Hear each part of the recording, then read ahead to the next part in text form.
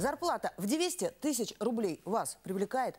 А вот в 1994 году это было примерно 50 долларов. Средний доход россиянина. К вечеру 11 октября он стал еще меньше. В тот черный вторник произошел кризис. Безработица, нищета, рай для фальшивомонетчиков. Как это было, вспомнил Александр Одинцов.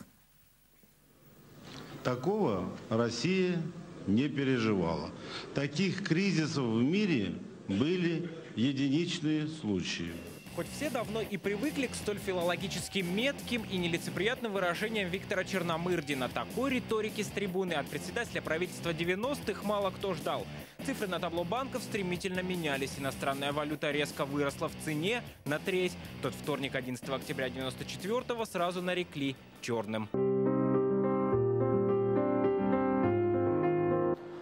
Хоть и довольно давно колебался, но так низко еще не падал. За один день на межвалютной московской банковской бирже курс доллара вырос на 27%. И уже за один зеленый нужно было давать не 3000 рублей, как раньше, а целых 4. Сбережения и доходы россиян словно таяли на глазах.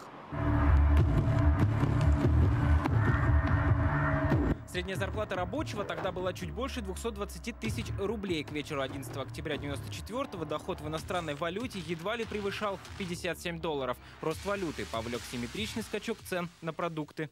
Тот черный вторник петербуржец Андрей Заостровцев был в Швеции. Он работал младшим научным сотрудником в Стокгольмской школе экономики. Зарплата там в кронах, а курсовая разница здесь позволила завершить дорогостоящий ремонт в квартире и купить новую бытовую технику, хоть и сделать это было непросто. Магазины закрывались, как тогда говорили, с белой техникой, потому что они все время буквально ежечасно меняли цену в соответствии за изменением курса.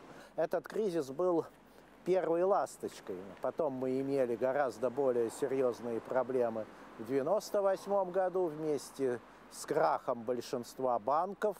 В истории финансового рынка постсоветского периода едва ли не каждый день можно было отмечать черным цветом. И тот вторник – естественная закономерность. ЦБ продавал запасы долларов, сдерживая уровень инфляции в стране. Но истощенный валютный резерв в какой-то момент влиять на курс уже не мог. Но тогда, вот, конечно, ощущения были очень малоприятные сам сильно огорчался, потому что старались как-то что-то накапливать, но долларов взять бы вы негде, все деньги держали в рублях, а цены очень серьезно зависели от валютного курса.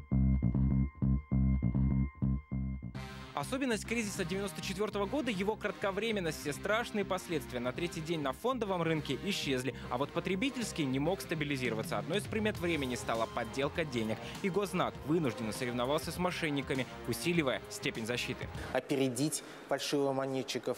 И, конечно, деньги образца 93 года были защищены гораздо хуже, чем деньги более поздние. Понятно, что на фоне тяжелой экономической ситуации, на фоне нарастающей инфляции, конечно, соблазн начать подделку денег и таким образом незаконно обогатиться был велик.